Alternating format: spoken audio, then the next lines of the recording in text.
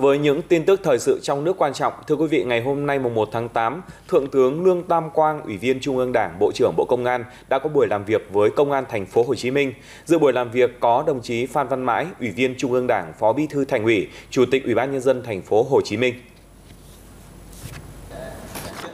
Phát biểu chỉ đạo tại buổi làm việc, Bộ trưởng Lương Tam Quang chúc mừng những thành tích xuất sắc đã đạt được của Công an thành phố Hồ Chí Minh thời gian qua. Trong đó, Công an thành phố luôn đoàn kết, thống nhất, chung sức, đồng lòng, nỗ lực phấn đấu, nhạy bén, sáng tạo, thể hiện cao nhất trách nhiệm, hoàn thành xuất sắc nhiệm vụ được giao, giữ vững an ninh trật tự trên địa bàn, tạo môi trường thuận lợi tối đa cho phát triển kinh tế, văn hóa xã hội. Bộ trưởng Lương Tam Quang yêu cầu trong thời gian tới, Công an thành phố Hồ Chí Minh cần tập trung chỉ đạo triển khai thực hiện tốt các nhiệm vụ chiến lược, góp phần xây dựng thành phố phát triển văn minh, hiện đại, nghĩa tình. Trong đó tập trung xây dựng lực lượng công an thành phố thật sự trong sạch, chính quy, tinh nhuệ, hiện đại. Tiếp đó là tập trung cụ thể hóa triển khai có hiệu quả chương trình hành động của Đảng ủy Công an Trung ương, thực hiện nghị quyết số 44 của Ban chấp hành Trung ương Đảng khóa 13 về chiến lược bảo vệ Tổ quốc trên địa bàn, bám sát và thực hiện hiệu quả nhiệm vụ chính trị của thành phố. Phải tập trung nắm chắc tình hình, phát hiện xử lý từ sớm những yếu tố tiềm ẩn phức tạp về an ninh trật tự từ cơ sở, tuyệt đối không để xảy ra bị động bất ngờ, tăng cường công tác bảo vệ Đảng, nền tảng tư tưởng của Đảng, đấu tranh phản bác các quan điểm sai trái, thù địch, xuyên tạc, bảo vệ an ninh chính trị nội bộ, chuẩn bị phục vụ tốt nhất Đại hội Đảng các cấp, làm tốt công tác đảm bảo an ninh kinh tế, an ninh tài chính tiền tệ, tăng cường bảo vệ an ninh mạng, trước hết là bảo vệ an toàn an ninh các hệ thống thông tin trọng yếu, triển khai quyết liệt các giải pháp kiềm chế kéo giảm tội phạm, kéo giảm số vụ, số người chết vì tai nạn giao thông, kiên quyết kiên trì xử lý vi phạm nồng độ cồn trong tham gia giao thông, phát huy cao độ thành tích công tác đã đạt được trong thời gian gần đây, tập trung triệt phá tội phạm có tổ chức, băng nhóm. Công an thành phố phải thể hiện vai trò tiên phong, gương mẫu, đi đầu về chuyển đổi số, cải cách hành chính, tổ chức thực hiện đề án 06, xây dựng chính phủ điện tử, góp phần xây dựng thành phố thông minh, đồng thời chú ý công tác an ninh an toàn các hệ thống thông tin dữ liệu trong quá trình triển khai thực hiện. Thưa quý vị và các bạn, hôm nay mùng 1 tháng 8, người dân đã có thể thực hiện đăng ký xe lần đầu bằng dịch vụ công trực tuyến toàn bộ quá trình đối với xe sản xuất lắp ráp trong nước trên cổng dịch vụ công hoặc là ứng dụng định danh quốc gia VNEID. Tại nhiều cơ sở đăng ký xe ở Hà Nội thì nhiều người dân tỏ ra bất ngờ trước ờ, khi được hướng dẫn về quy trình đăng ký xe mới và nhanh gọn này. Đến đăng ký mới cho chiếc xe máy đầu tiên của mình, chị Thanh Hiền khá bất ngờ khi được lực lượng cảnh sát giao thông giới thiệu là từ hôm nay, chị cũng như những người có nhu cầu đăng ký xe khác hoàn toàn có thể thực hiện tất cả các thủ tục đăng ký mới cho phương tiện của mình trên ứng dụng VNeID. Thấy còn nhiều người đang phải xếp hàng chờ làm thủ tục trực tiếp. Chị đã mạnh dạn chọn cách đăng ký mới này và chỉ sau ít phút được lực lượng cảnh sát giao thông hướng dẫn về quy trình thực hiện. Chị đã hoàn tất các thủ tục bằng chính chiếc điện thoại của mình mà không cần chờ đợi như những người khác làm thủ tục trực tiếp. Em thấy ờ, đăng ký online trên thiết bị di động của mình ấy rất là tiết kiệm thời gian và thủ tục nhanh gọn, thiết thực cho người dân mà không mất thời gian đi lại và cũng là chi phí. Làm online thì sẽ nhanh gọn hơn là là mình đến làm trực tiếp và khai kê hai giấy tờ. Làm uh, giấy tờ thì em thấy là lắm cái thông tin mình khai không được chuẩn, không được đúng. Còn như làm online thì có một số thông tin mình đã cập nhật trên dữ liệu VNID ấy, thì là sẽ phải cập nhật luôn, mình không phải điền lại các cái thông tin đó nữa. Theo đó, chủ phương tiện sẽ không phải đến cơ quan quản lý đăng ký xe để bấm chọn biển số như trước đây, mà hoàn toàn có thể thực hiện việc này tại nhà cùng với chiếc điện thoại, máy tính có kết nối internet và cài đặt VNeID. Các thủ tục nộp thuế phí cũng được thực hiện hoàn toàn trên môi trường mạng. Mọi thắc mắc của người dân đều được lực lượng cảnh sát giao thông hướng dẫn và tháo gỡ kịp thời. Lãnh đạo Bộ Công an cũng đã chỉ đạo Cục Cảnh sát giao thông kết hợp với các đơn vị chức năng thành lập các tổ công tác đến trực tiếp các địa phương, đến cấp xã, cấp huyện, cấp tỉnh để trực tiếp hướng dẫn địa phương và tập huấn cho lực lượng cảnh sát giao thông ở các tỉnh thành phố trên cả nước để hướng dẫn người dân nếu người dân có khó khăn thì sẽ thao gỡ ngay tại chỗ để làm sao người dân có thể thực hiện được cái dịch vụ này một cách thuận lợi nhất đảm bảo thực hiện được cái dịch vụ đăng ký xe tại nhà hoặc tại bất kỳ đâu trên môi trường điện tử. Hiện nay, người dân cần lưu ý một số điều kiện nhất định để có thể tiến hành đăng ký online. Đó là phải có tài khoản VNeID mức độ 2. Phương tiện phải được lắp ráp trong nước và phải có phiếu kiểm tra chất lượng xuất xưởng theo mẫu mới. Chỉ thực hiện đối với phương tiện đăng ký lần đầu tiên.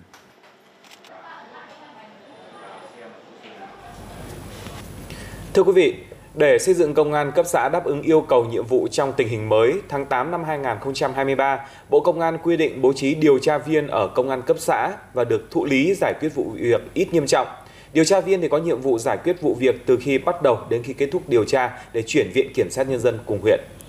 Việc nâng cao năng lực điều tra viên cho công an cấp xã đã góp phần đảm bảo căn cứ pháp lý vững chắc trong việc củng cố chức năng điều tra của lực lượng công an xã trong xử lý các vụ án, từ đó đấu tranh phòng ngừa có hiệu quả với các loại tội phạm, góp phần đảm bảo an ninh trật tự ngay tại cơ sở. Để làm rõ hơn nội dung này thì mời quý vị cùng đến với câu chuyện tại Hải Dương với phần trình bày của biên tập viên Phương Thảo.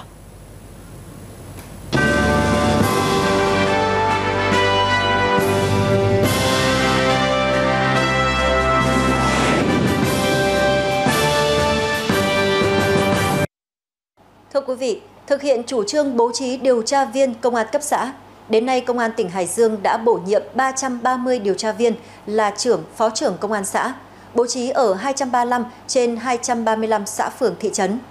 Từ ngày có điều tra viên, công an cấp xã ở Hải Dương đã làm tốt hơn công tác phòng ngừa, đấu tranh với tội phạm, vi phạm pháp luật, nhất là việc phá án, góp phần quan trọng bảo đảm an ninh trật tự trên địa bàn sau sự việc đã bắt được kẻ trộm rồi thì chả biết nói được câu gì hơn mà cũng chỉ biết là các chú công an rất giỏi. Và hơn nữa là công an với dân là một gia đình nhiệt tình. Nếu như dân cần là công an đến mà đã giúp nhân dân là rất nhiệt tình không nghĩ gì là thời tiết lắng mưa hay là công việc lo mệt nhọc gì cả. Đó là cảm xúc của bà Vũ Thị Hồng khi được lực lượng công an xã Hồng Phong, huyện Thanh Miện nhanh chóng tìm ra đối tượng trộm cắp tài sản của gia đình bà. Còn đây là trường hợp của em Nguyễn Đình Long bị cướp điện thoại trong đêm. Cảm xúc sợ hãi vẫn còn lộ rõ trên khuôn mặt khi em đến trình báo tại công an xã Thống Nhất, huyện Gia Lộc. Tuy nhiên với sự quyết tâm vào cuộc điều tra, chỉ hai ngày sau, đối tượng cưỡng đoạt tài sản đã bị lực lượng công an xã bắt giữ. Trong buổi tối hôm đấy cháu đi làm về trời rất là tối cháu có bị hai đối tượng chặn xe và cướp điện thoại. Ờ, lúc đó cháu rất là hoảng loạn và sợ hãi. Dạ, ngay sáng hôm sau cháu lên trình báo cơ quan công an thì các chú làm việc rất nhanh chóng. Trong hơn một ngày các chú đã lấy lại chiếc điện thoại cháu. Cháu cảm thấy rất là vui và cảm ơn các chú công an. Với lợi thế địa bàn cơ sở, gần dân nhất, khi xảy ra vụ việc, lực lượng công an xã chính là những người đến và bảo vệ hiện trường nhanh nhất, thu thập chứng cứ, công cụ phạm tội, bắt giữ đối tượng kịp thời nhất. Qua đó góp phần điều tra, làm rõ vụ án, thuận lợi, đúng quy định. Ngay khi tiếp nhận vụ việc thì bản thân tôi luôn chỉ đạo cán bộ chiến sĩ khẩn trương, trách nhiệm và tập trung xác minh xử lý các vụ việc và xác định rõ đây là trách nhiệm của lực lượng công an xã. Và các biện pháp nghiệp vụ được triển khai đều là triển khai khẩn trương, xác minh rõ vụ việc, đồng thời là không ờ, ỉ lại vào các đội nghiệp vụ và cơ quan cấp trên. Việc bổ nhiệm ờ, điều tra viên ở công an cấp xã thì là tôi thấy là hoàn toàn đúng đắn. Nó cũng ờ, có cái việc ờ, thuận lợi là chúng tôi là người trực tiếp ở địa bàn nắm bắt đối tượng, quản lý đối tượng, quản lý địa bàn. Ở vụ việc xảy ra thì có thể chúng tôi sẽ có bản ngay, thời gian nó nhanh chóng. Từ những vụ án được giải quyết trực tiếp tại cơ sở, đội ngũ điều tra viên ở công an cấp xã đã góp phần quan trọng làm giảm áp lực công việc cho đội ngũ điều tra viên ở các cơ quan cảnh sát điều tra công an cấp huyện. Và quan trọng hơn, hầu hết vụ việc trước đây, người dân phải lên công an cấp huyện trình báo, giao nộp chứng cứ, thì nay chỉ cần đến cơ quan công an địa phương. Bằng những thuận lợi, thời gian qua nhiều vụ việc đã được lực lượng điều tra viên cấp xã trực tiếp giải quyết tại địa bàn cơ sở. Tuy nhiên, phần lớn điều tra viên là trưởng, phó trưởng công an xã phải kiêm nhiệm thêm nhiều nhiệm vụ khác. Cùng với đó, trình độ, kinh nghiệm của điều tra viên cấp xã còn chưa đồng đều. Do vậy, Công an tỉnh Hải Dương cũng đã đề ra nhiều giải pháp để nâng cao năng lực cho lực lượng này. Xã Thống Nhất, huyện Gia Lộc, giáp danh với xã Liên Hồng, thành phố Hải Dương, đồng thời có 7 cơ sở tôn giáo với mật độ dân cư đông, tiềm ẩn nhiều nguy cơ phức tạp về tình hình an ninh trật tự. Vì vậy, xã Thống Nhất đã được bổ nhiệm hai điều tra viên và một cán bộ điều tra. Với Thượng úy Hà Minh Quang, trưởng công an xã Thống Nhất, ngay sau khi được bổ nhiệm, anh và đồng đội càng nâng cao hơn tinh thần trách nhiệm cũng như năng lực trình độ trong quá trình thực hiện nhiệm vụ đấu tranh phòng chống tội phạm và giải quyết các vụ việc ngay từ cơ sở. Bản thân chúng tôi là điều tra viên đã được bổ nhiệm, lãnh đạo cấp trên tin tưởng. Do vậy, trong thời gian tới chúng tôi sẽ tăng cường nghiên cứu tài liệu, học hỏi, đồng thời là tăng cường công tác chủ yếu đây tập trung công tác là hóa giải mâu thuẫn nội bộ nhân dân. Thì lực lượng công an phải phát huy vai trò là gần dân sát dân và tăng cường cái mối quan hệ tương tác với người dân. Thì qua đó là sẽ ngăn chặn được các cái vụ việc ờ, nghiêm trọng xảy ra.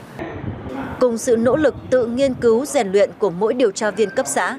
các đội nghiệp vụ công an cấp huyện cũng tăng cường công tác phối hợp, trao đổi thông tin,